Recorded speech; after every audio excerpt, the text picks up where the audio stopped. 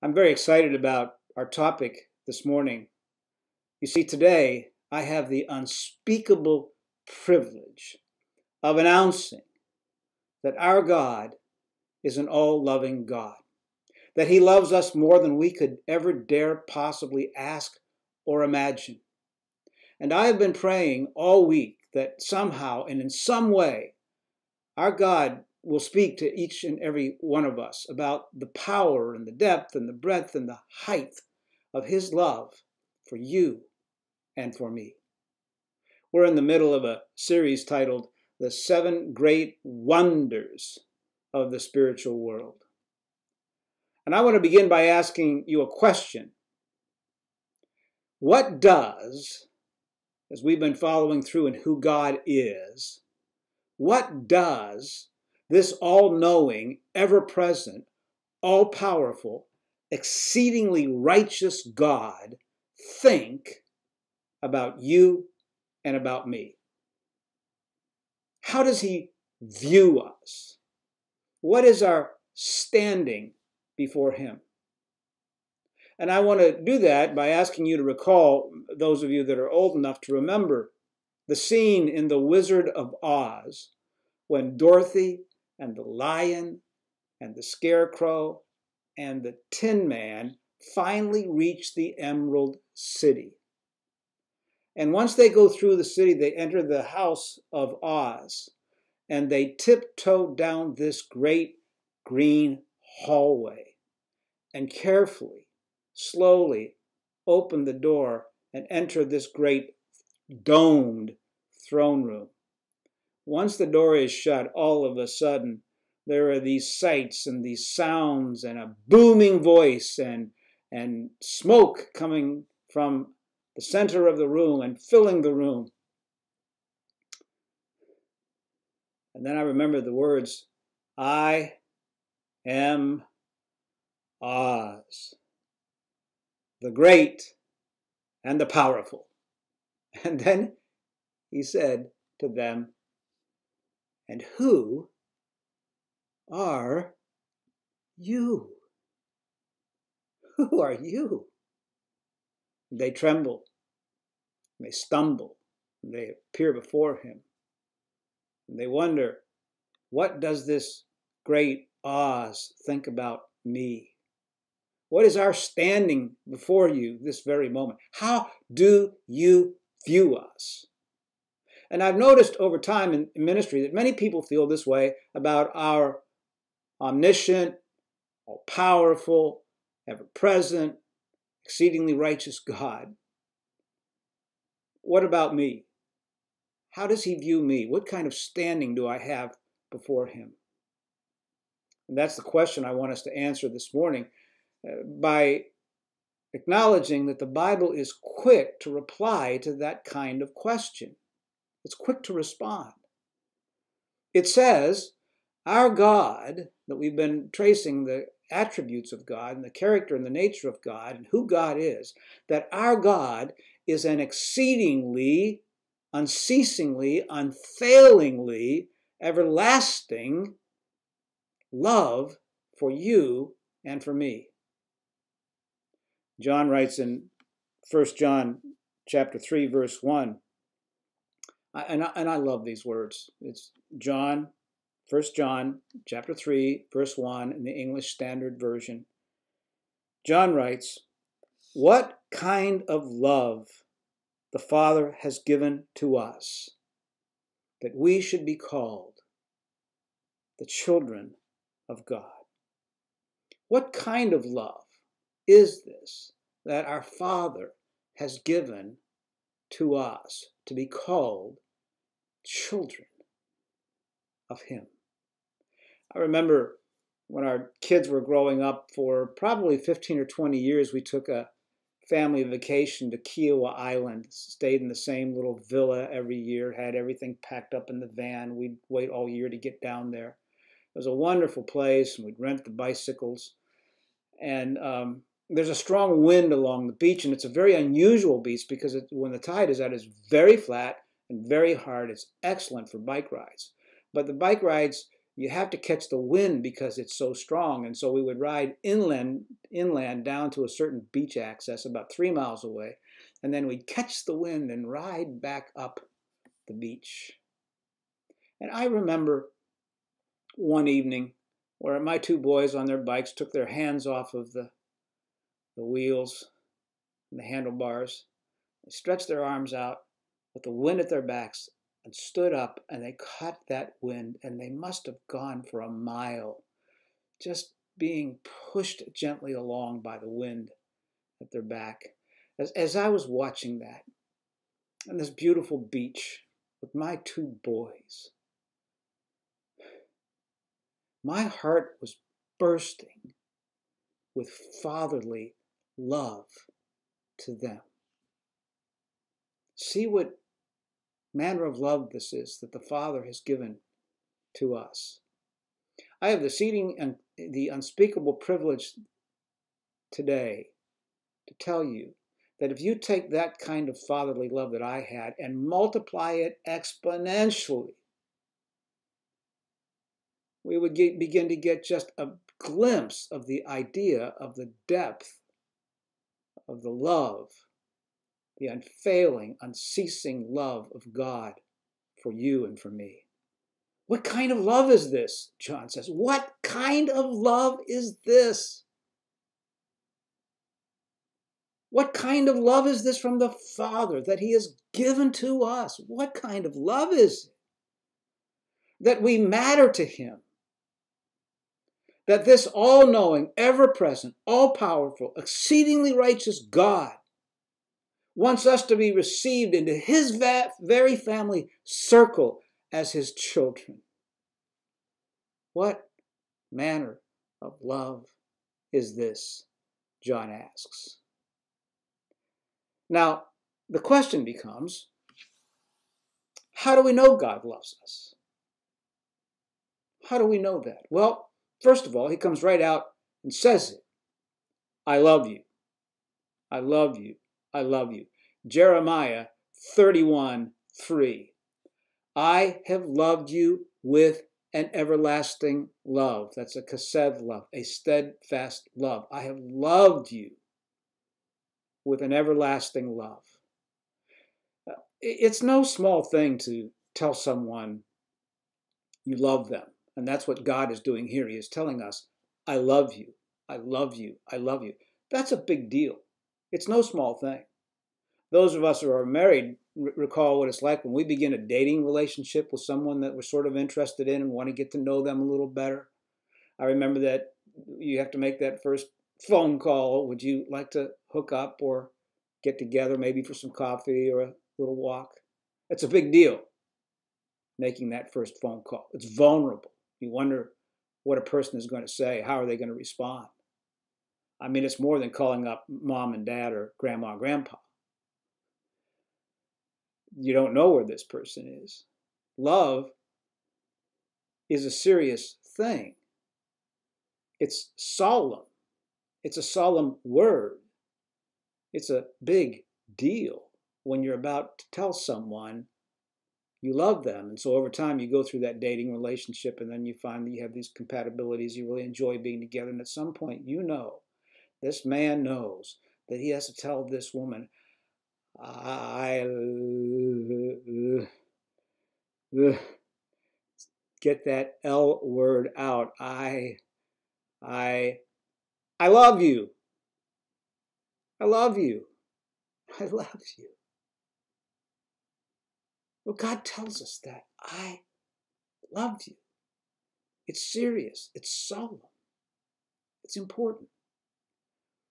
This uh, winter, I went through a five week series on the life of David, and, and one of those stories is the story of David and Jonathan and their love for each other, in which God describes the essence of biblical love in five verbs, five Hebrew verbs that he describes this relationship between David and Jonathan as the model for all relationships. And it begins with akav, the chachav, the deep, abiding affection and love for someone else. It's the kind of love that says, I'm not worried about what I get. This is all about me giving. It's a sacrificial kind of love.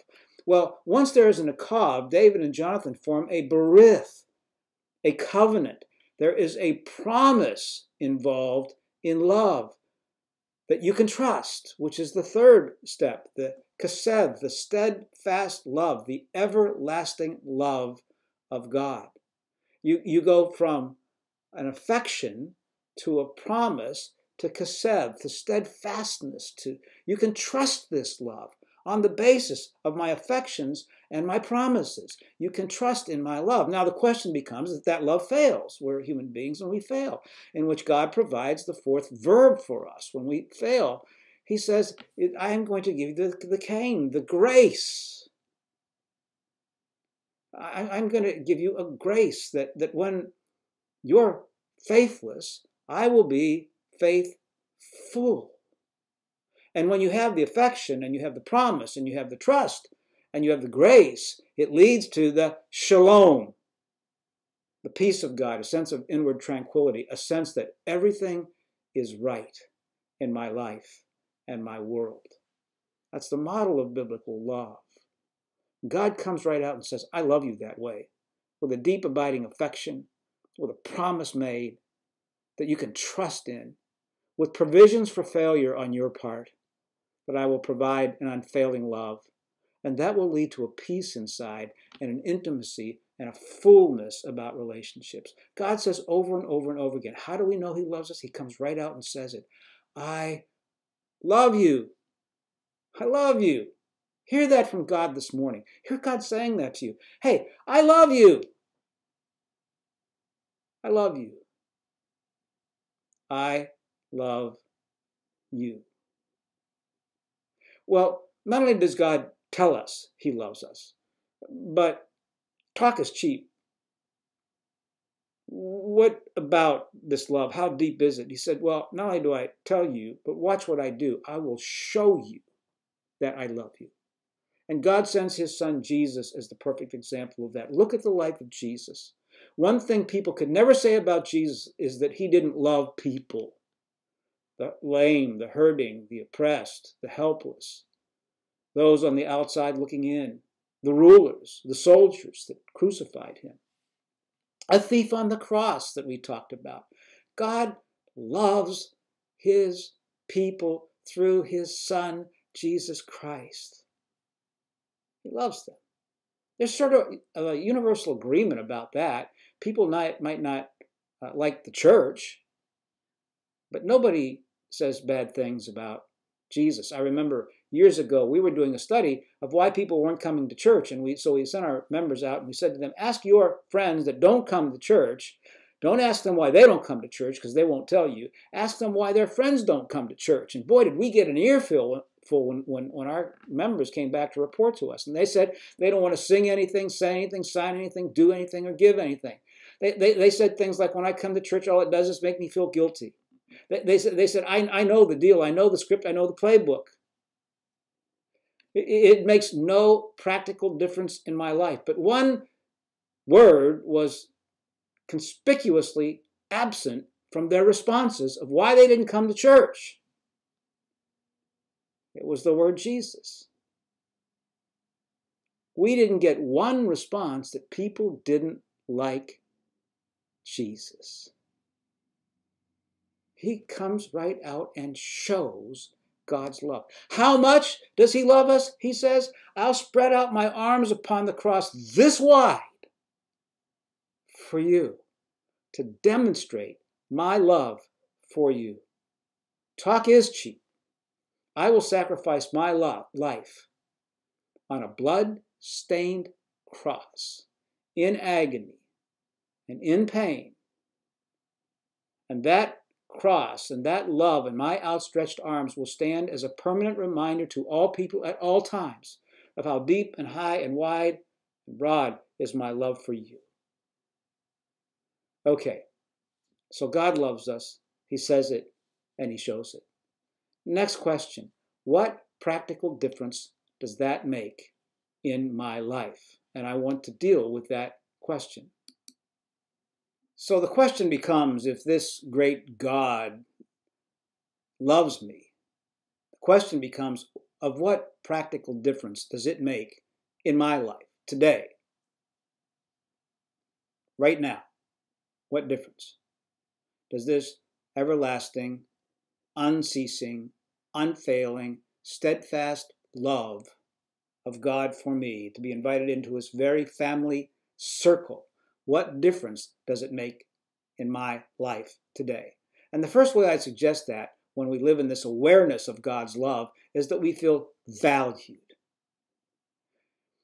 If I matter to God, then I matter. If I am important to God, then I'm important.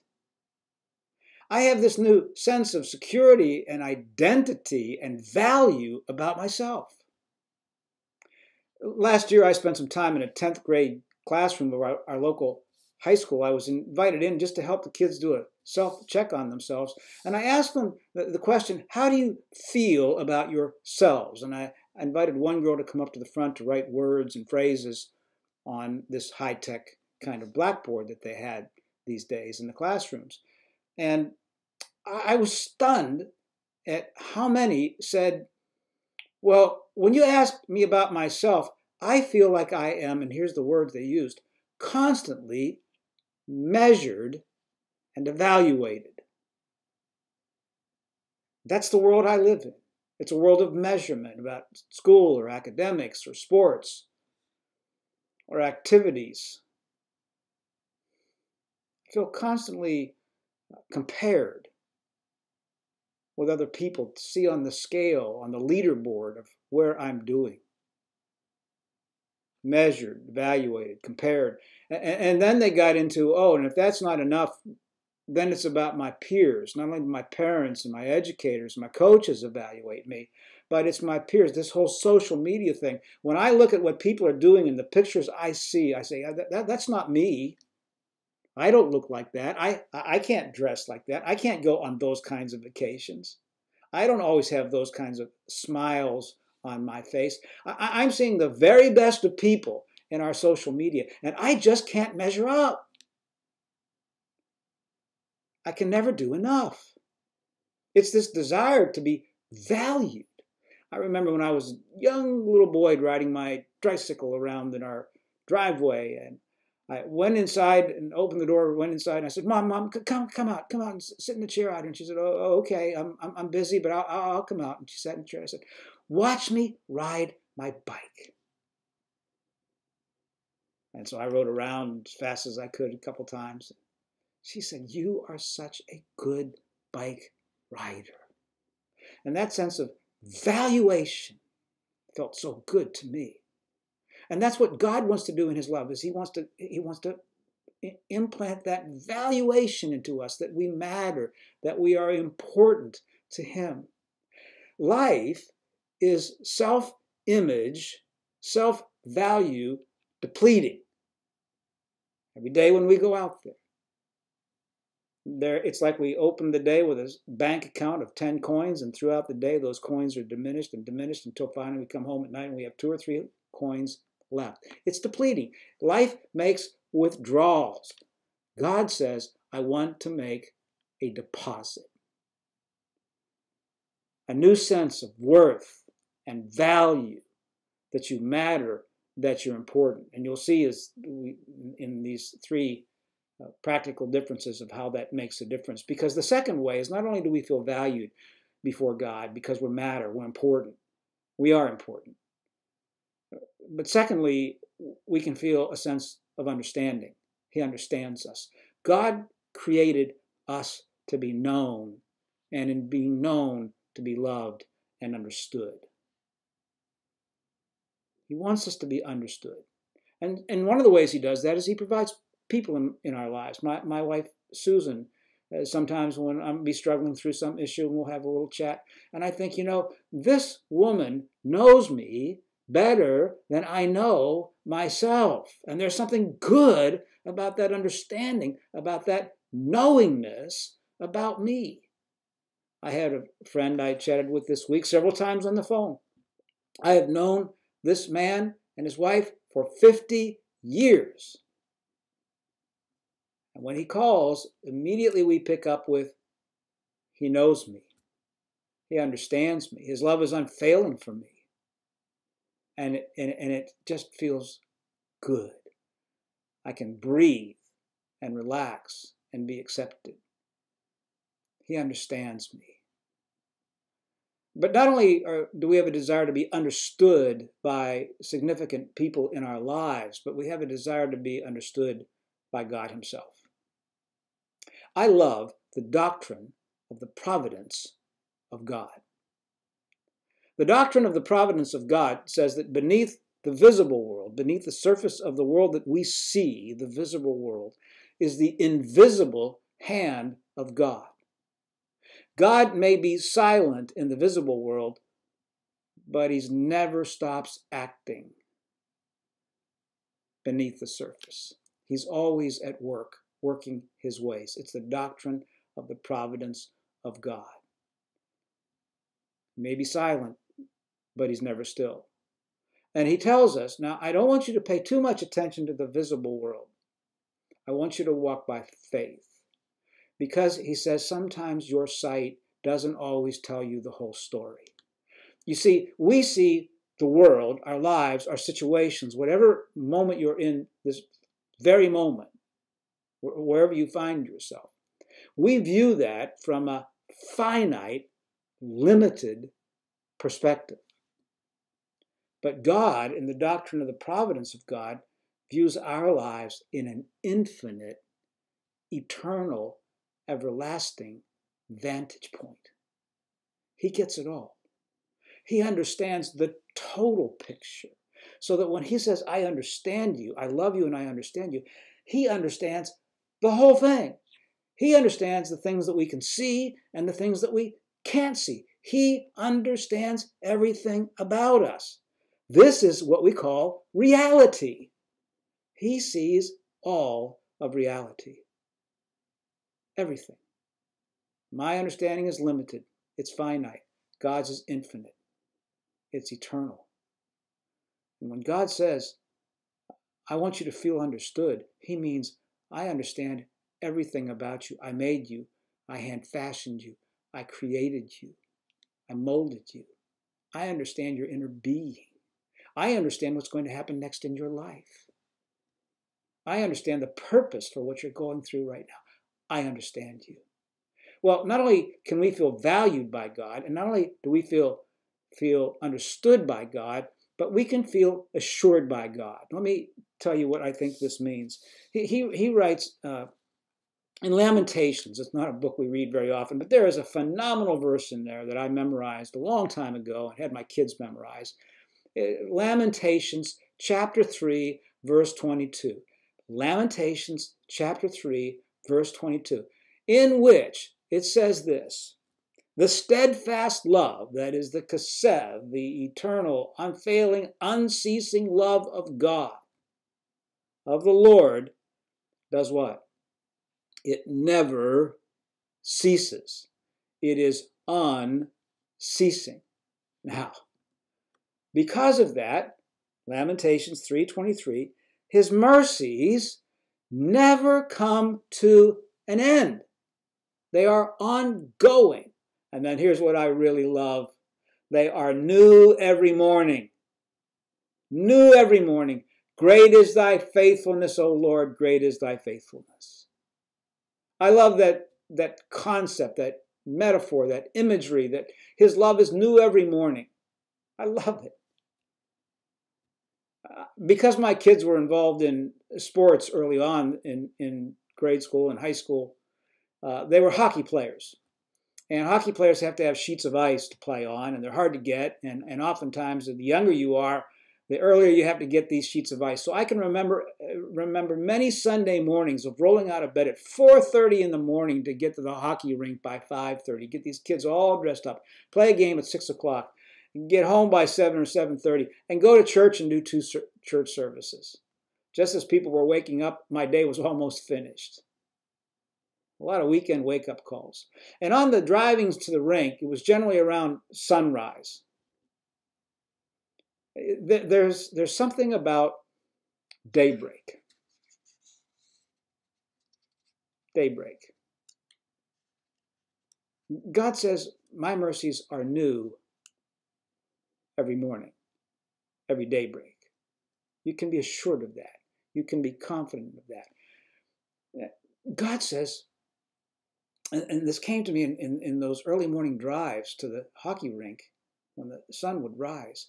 God says, Look at the sun.